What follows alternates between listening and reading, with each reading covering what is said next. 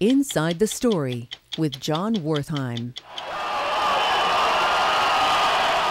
This week on 60 Minutes, we meet Siya Kolisi, the first black captain of the South African rugby team, the reigning World Cup champions. He's the one lifting the trophy here in 2019. When you won the World Cup, you said, I've never seen South Africa like this. What did you mean by that? The celebrations. Oh, man. It was lit. People were celebrating. It was full. It was beautiful to see, you know. When Siya Kolisi picked up the World Cup, the most emotional moment, I was there. High praise from Francois Pienaar. He captained South Africa to glory in 1995. It was just, for me, incredibly important because, again, we united, and sport unite, united us since 95 to 2019. It was Pienaar who stood famously atop the podium with Nelson Mandela, who a year into his post apartheid presidency was trying to unify a racially divided country. Mr. Mandela hands you the trophy. Do you remember what you said to each yes. other? he handed me the trophy and he said to me, Thank you, Francois, for what you've done for this country. And I couldn't believe the words. And I actually said to him, No, thank you, Mr. Mandela, for what you have done for this country. I had to gather myself not to cry. There was one player of color on, on your team. Chester. 12 years later, South Africa wins the World Cup again. This time they're two. This transformation was slow going, wasn't yeah, it? Yeah, it was. And the reason for that is equal opportunities. Um, in a sport like rugby, you need to do it from a young age to get really good at it.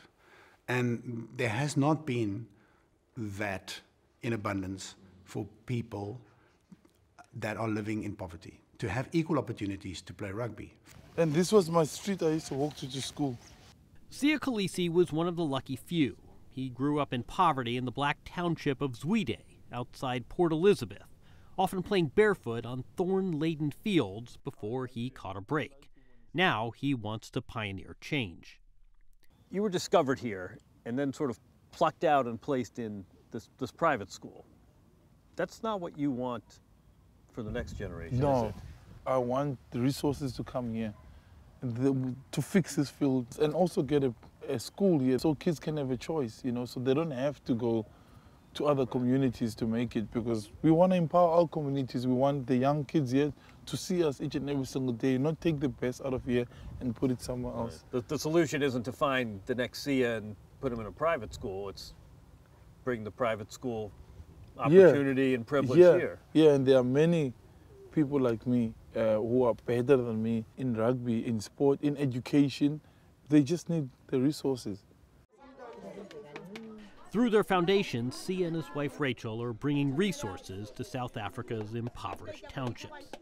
We all have a right and responsibility to make sure that everybody has an equal opportunity like everybody else. And that's the only way that our country will come right. That's what we need to realize. No matter how well you're doing, as long as there's still people suffering, the, our country is not winning. The more we all do well, then we're all pushing to make sure that South Africa is doing great. We're all working. We can all get great opportunities. That's how the country goes for. That's how we move from being a third world country to becoming a first world country when everybody is doing well.